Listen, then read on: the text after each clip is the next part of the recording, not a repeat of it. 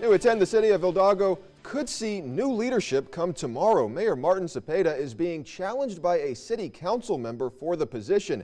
CBS 4's Priscilla Estrada spoke to both candidates and tells us what they want to bring to the city. For the past six years, residents in the city of Hidalgo have known Martin Cepeda as their mayor. I grew up here in Hidalgo, so my concern is my community. That's what I've. That's why I've stayed here, 54 years. So I want to continue to serve uh, the city of Hidalgo and its residents. City Council member Sergio Coronado, who has served alongside the mayor for the past four years, is now vying for the position in the upcoming election.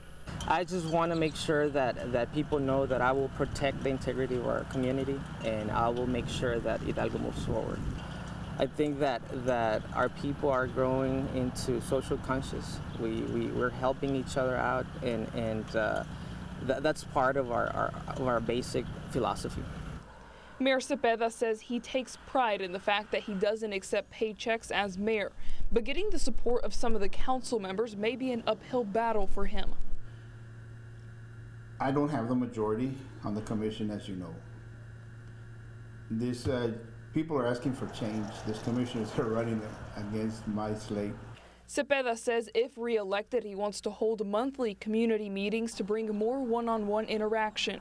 There's several projects there in the works. I've been talking to several businesses, uh, and I feel that I am the right person to continue to, to drive Hidalgo into the, the, the right direction. Coronado's motto is moving Hidalgo forward and says the city is behind.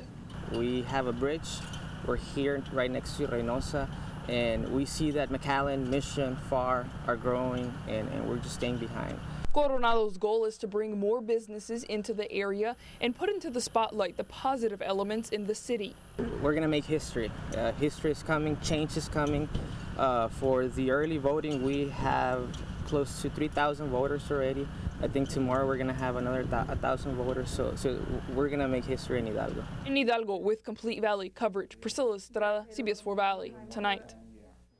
Election day is tomorrow. Polls open at 7 a.m. and close at 7 in the evening. Of course, we will have our complete election coverage tomorrow night right here on CBS 4 at 6 and 10, as well as on our website. That's at valleycentral.com.